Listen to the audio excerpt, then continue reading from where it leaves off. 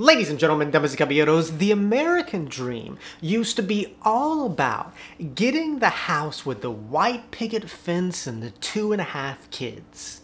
However, that's what the American dream used to be. More recently, the American dream has changed for younger generations. The new American dream is about getting the American paying remote job and then getting the hell out of America. In this last decade or so, we've seen so many younger people as well as older people, not just Americans, but people from rich developed countries move to cheaper developing countries. This past decade, we have seen the rise of the digital nomad in multiple countries offering digital nomad visas. And why is this? Why are so many young people leaving rich countries? Well, as someone who has traveled to almost 40 countries around the world and has lived abroad for over two years, I think I can speak a lot on this topic. And so in this video, I want to dive into this trend of the new American dream and talk about why young people are leaving rich countries, the reality of the new American dream, and the consequences to the host country. And so let's start off by talking about why young people are leaving rich countries. So as I just said, in the developed world, we've been seeing this trend of people leaving their rich developed countries and moving to cheaper developing countries. And when you think about it, it's kind of strange. However, I think that there are three logical reasons to this. And the first reason is the developed world is no longer affordable. So if you are watching this video and you are living in a rich developed country, you know that we are in a cost of living crisis. We're living in this moment of time where everything is becoming increasingly unaffordable. I mean, rent, groceries, and cars are all increasingly unaffordable. The developed world is nice and luxurious, but most people can't afford to live in it. Most people can't afford a good quality of life here and are choosing to move abroad because their money will go a lot further. I mean, in America, a salary of $40,000 a year doesn't go far, but in Costa Rica, a salary of $40,000 goes so far to the point where you're rich. People are leaving rich developed countries because the developed world isn't affordable. And people are thinking, I can't afford the American dream here in America, but I can afford it in another country. The dollar and many other Western currencies go extremely far in other countries, and many people are thinking that their only option for a better life, ironically, is leaving the developed world. Now, the second reason is the developed world is too stressful. Now, another problem that is going on in the developed world is that our way of life has gotten extremely stressful because, as I said, life has become increasingly unaffordable. And because of that, we work extremely hard. Life is busier than ever, and life feels like a grind. The average American is very stressed out, and people are looking at these more developing countries where life is slower, more simple, and more laid back, and find it appealing. And not only are you living a less stressful life, but as I said, you're rich people are leaving rich countries because the developed world and the developed lifestyle is extremely stressful and people just want to live more simple, slow lives with less stress. Now, before I move on to the final reason, I just want to take a quick moment to talk about the sponsor of today's video, Aura. So whether you choose to pursue this new American dream or the old American dream, one thing that everyone should do is take steps to protect yourself in this digital world because the odds of falling victim to an online crime are one out of four. And that's because data brokers will collect your information like your name, phone number, and family members and sell it to various people who might want to target you, who then use that information to access your social media, bank accounts, and other sensitive information. But luckily, data brokers are required by law to remove your name from these lists when requested. However, they make it very hard to do, which is why you should let Aura handle it for you. Aura can identify data brokers exposing your information and submit opt-out requests on your behalf. I have been using Aura for the past five months, and Aura has found and removed my name from 15 lists with 9 in progress. But that is not all Aura does to protect your privacy. Aura is an all-in-one tool that monitors your credit score, gives you antivirus protection, a VPN to browse the internet securely, password management, parental controls, identity theft insurance, and more, all for one affordable price which can help give you your privacy back in this modern world. And if you're like me and you find it important to protect your privacy, click on the link in my description or go to aura.com slash austinwilliams to get a free two-week trial to test out this amazing tool. And in 2024, it is crucial to protect your privacy. So let Aura do all the hard work for you. And thank you, Aura, for sponsoring this video. Now, the final reason is that it's never been easier to live abroad. We're living in a moment in time where it has never been easier in the history of the world to move abroad. I mean, there are so many remote jobs that allow you to work from anywhere. The price of a plane ticket has never been lower, and more and more countries are offering digital nomad visas. If you have a remote job and want to live abroad, all you have to do is sell your crap and buy a plane ticket. It has never been easier to move abroad, and so many people are embracing this and choosing to move around more.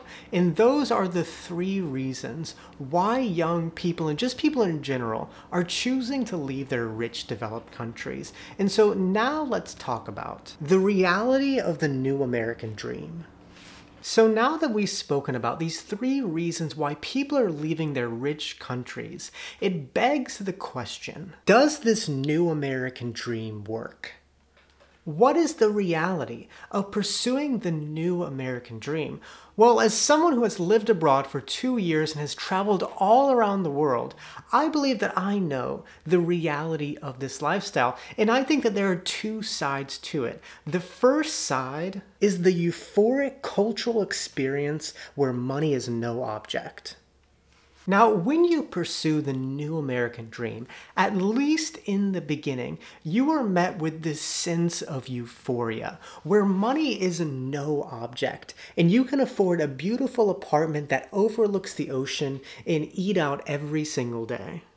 You don't have to think about money as much because prices are much cheaper than here in America, and that brings a lot of peace into people's lives. But it's not only the finances that make it this incredible experience, but you're also in this new culture where everything is different. And every day you're waking up seeing and having completely new experiences. Traveling and being abroad is honestly like a drug, and once you have a hit of it, you become an addict. When you realize how far your money goes and how enriching an experience it is, you ask yourself, why didn't I leave America sooner? This new American dream is this euphoric cultural experience where money is no object and people are embracing this lifestyle. However, there is a flip side to it, and I think it's something that everyone eventually comes to realize when they pursue this lifestyle. And it's the lonely, isolated lifestyle of never fitting in. So up to this point, we have only spoken about the positive aspects of this new American dream. And when you hear about these positive aspects, it's hard to imagine that there's anything negative to this lifestyle. But I think that people who pursue this new American dream ultimately come to the realization that it is a hard lifestyle where you often feel lonely. You struggle with always feeling like an outsider, and cultural differences are challenging. I mean, I lived abroad for two years, and I can say from experience that it is extremely hard to live abroad. You never understand what is going on, and you will never fit in as an outsider. It's exhausting, and I think that many people who pursue this digital nomad lifestyle eventually come to the realization that working on your laptop at the beach in a different country comes with its own set of challenges. And although we have seen this trend of people leaving their rich developed countries, I think that ultimately most people decide to move back. Because I think that ultimately people are happier in their own countries because when you're in your own country, you understand what is going on and you fit in. And it's hard to understand that fact unless you have lived it. But I think that many people who pursue this new American dream ultimately come to the realization that there are many challenges to this lifestyle and financial benefits aren't everything and ultimately decide to return to their home country. Now, finally, I want to talk about an aspect of this trend that many people don't consider, and it's the consequences to the host country. So when people talk about this new American dream, it often comes from a very ecocentric point of view of how it benefits and impacts you as an individual. However, we often don't consider how it impacts the host country. Because this trend of the new American dream often impacts the host country in many negative ways, and I want to talk about two ways. The first way is gentrification. So, as I said earlier, a salary of $40,000 in the United States doesn't go far, but in another country, you're considered rich. Your money can go so far that it can create problems in the host country. Like in Mexico City, neighborhoods have been overrun by foreigners that have been completely gentrified to the point where locals can't afford to live in it anymore. When we take our high American salaries to other countries, it can often displace local people in their own country because they're unable to keep up with our cost of living. Now, the second way is cultural intolerance.